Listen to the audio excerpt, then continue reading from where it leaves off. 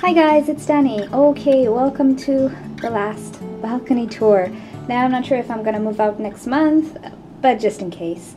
Um, this will be the last balcony tour because I'm not sure if I will have time and energy to do one next month.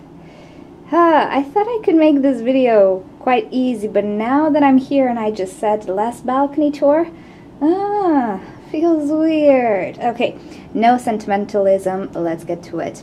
So everybody keeps saying, oh my god, what a beautiful azalea you have. Yeah, it's my mom's. it's not mine, it just lives here for now. But it's not gonna come with me because uh, this is my mom's, she picked it up. It is beautiful, I'll give you a close-up. Um, I don't know what to tell you about caring for this azalea. I just, I don't know. I don't do anything. I fertilize it with my citrus fertilizer sometimes. Uh, I make sure that she has enough water because if she doesn't have enough water, everything will go including the flowers. So yeah, I just make sure she is moist all the time and that's about it. And she has uh, quite a lot of bright light, but not too much direct sunshine. So yeah, this is the azalea.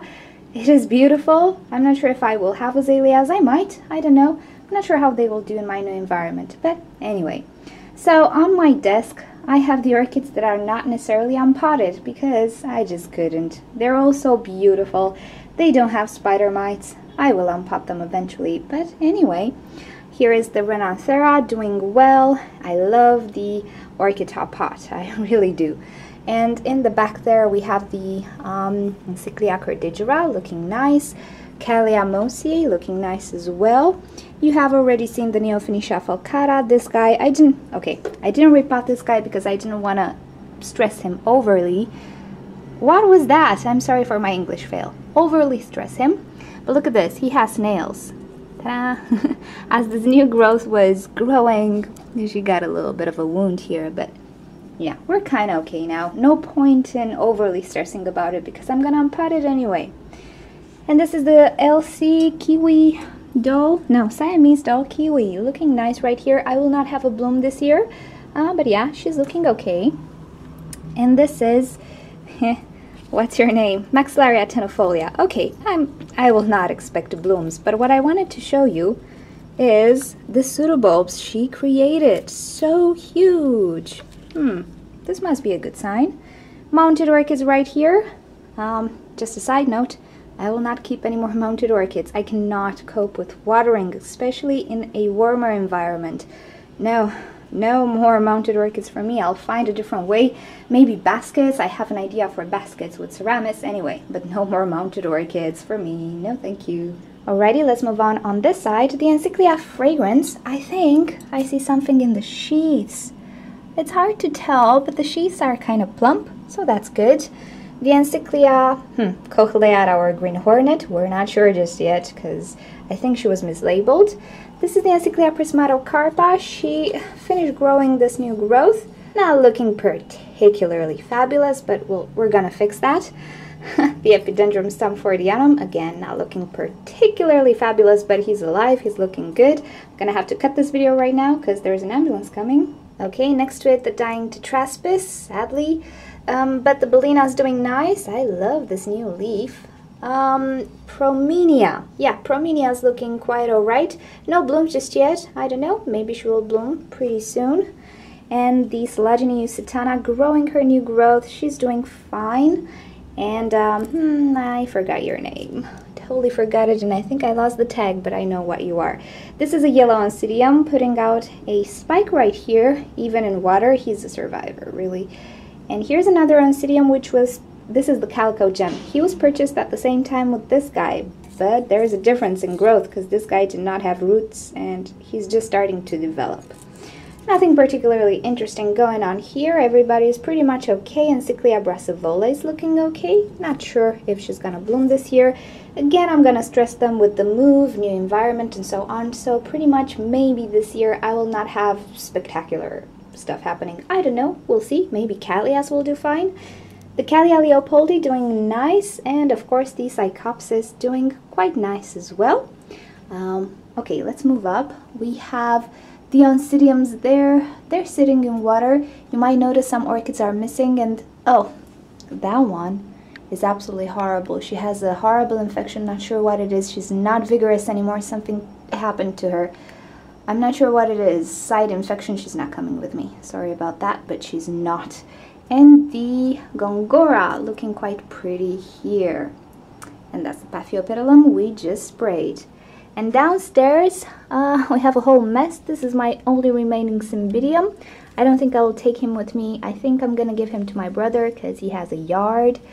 Um, you know, the Osmoglossum and some other orchids doing quite okay here. You'll notice that my balcony is a bit crowded. Mm, yeah, I'm just... Mm, I don't feel like cleaning up and everything because I know I'm gonna mess everything up again and I'm gonna pack everything and, you know, Alrighty, here is the Kirchara doing well. Oh, and the mini mark. I'm not sure what to do with this guy. He is so pretty and so cute and so nice. But he has the side infection. I'm not sure if I should take him with me. I don't know. I think I will. I don't know. But yeah, he's looking pretty. He's blooming. And in the back we have the Oncidium Sharry Baby, my division, which pretty much uh, didn't adapt to the water culture just yet. He will not have to because soon, soon you will be in a brand new media with air. Good. Alrighty, the Cattleyanthi rojo, she bloomed pretty weak this year. We're gonna fix that. And some other orchids trying to adapt and survive to whatever I'm doing right now. This one is putting out roots, but I only have just a little bit of water here. I'm not keeping her in water because she absolutely hates water culture. This is the Encyclium Green Hornet. As you can see, the new growth is a lot tinier than the one from last year. Yeah, it is to be expected. We're gonna fix that. And yeah, just a few more orchids that I'm trying to keep as best as I can. Okay, this is the Cattleya from Rachel. I don't know what happened. So this leaf, as you can see, we cut it because it had an infection. Everything looks fine where we cut it, but there is some more coming up on the other side. Mm, not sure what's wrong with this leaf because the, the other leaf she created looks okay. Yeah, maybe I'm gonna have to just chop this leaf, but we're putting out roots, lots of them. That is great. We're gonna do fine. And um, what's your name? This is the Encyclia, hmm, Vitellina, okay. She's putting out new growth as well. No blooms, it is to be expected. I messed up her new growth. Uh, just a few more Cattleyas here and there. And up above we have, oh, we have the chysis. I think it's gonna put on a new growth from here. Not sure, we're gonna see. So some oncidiums, the jungle monarch is in bloom right there. And yeah, just a bunch of oncidiums doing okay. My seedlings are doing fine. They're gonna get sprayed with hairspray. This one is not doing so fine. This is the Purpurata seedling. I'm not sure if I'm gonna keep this one because she's so tiny. I'm just gonna order a purpurata. I'm not even sure if it's a purpurata because it was purchased from eBay Asia. I don't trust them. So yeah. These are the Siderias. You might have seen them. Flower spike going nice. I really, really hope... Oh, and they are producing new leaves. I saw them. They're very, very tiny. I will spray them pretty soon because I don't want the new leaves to end up like this. So hopefully, hopefully, um, that will fix it. Other than that, everybody's doing quite okay here, struggling but they're surviving. Alrighty, some more orchids and water here. This is the Hawaiian Splash Lea. struggling, but doing okay. Oh, and this is the Dendrobium, not Parisi, Aphyllum, or Pierardi. Only put up one bloom this year. Progress, right? Nah. Um, yeah, I messed up with this guy because I kept repotting him. I used the Orchid Focus Media, wasn't okay, long story, but he, he will do better next year. And that's about it for this side. Oh, I forgot to show you downstairs. So a whole bunch of orchids are um, just piled up here because I don't have space right now. Catasetums. Uh, I am making a video on how to water or when to water catasetums. It will be posted soon as as soon as these roots grow actually and they will be able to to pick up water. I cannot talk today. I'm, I'm sorry, it's Sunday. So yeah, I need more coffee.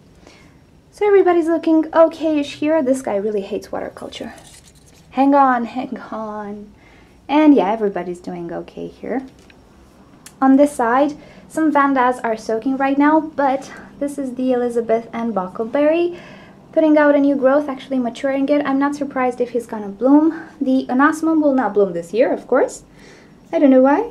We're gonna fix that. of course, the beautiful Brassavola and the rest of my Vandas. Some of them are soaking right now, so that's why they're missing. Also, um, the, um, what's your name? Xylogeny. I made the ID sheet on OrchidNature. I'll add it somewhere here. She's done blooming. Uh, it didn't last all that much. And the rest of these orchids are fine. Another Xylogeny. This is the, what's your name? Bulbophyllum medusae, and I'm sorry about the light. He's growing. He absolutely hates neem oil. Absolutely. Oh, okay, I'm gonna bring him down. Absolutely, absolutely hates spots of neem oil. See? Not okay. And here is the Stanhopea. She's doing quite okay actually, uh, considering. But now she has a lot of roots, so she's gonna get hydrated. So yeah, we're gonna do better with this one. And the Angraecum is there. No blooms, but he's uh he's looking quite nice. Okay, let's move on. On this side, we have the beautiful Leodoro. So here's why I'm saying it might work with the the spotting. So you see these new leaves, they don't have spottings on them, unlike the old leaves. So I'm guessing if the orchid is strong, she will overcome whatever infection this is. So yeah, that's why I'm thinking of keeping the Cedarias and trying to make them look better. This one smells really, really nice right now. Um, up above, some Cattleya is doing quite nice. This one has a bump. Um, I'm not sure if they're buds. I hope so. This is the Jungle Eyes. She never bloomed for me. Grows like mental, but never blooms. I really hope she will bloom now. I don't know, we'll see. You know, these guys, this is the Schomburgkia, some more Cattleyas, some more Cattleyas. Down here is my mom's African violets. They will not come with me because they're not mine. so yeah, and that's, uh, that's pretty much about it. And this was the messy balcony tour. Yeah, I'm lazy to clean. So the last balcony tour, huh? Um, yeah, no, I went through it pretty fast because I just, I can't. I just can't. It's last time, so yeah. We're gonna see a beautiful greenhouse, hopefully, next time.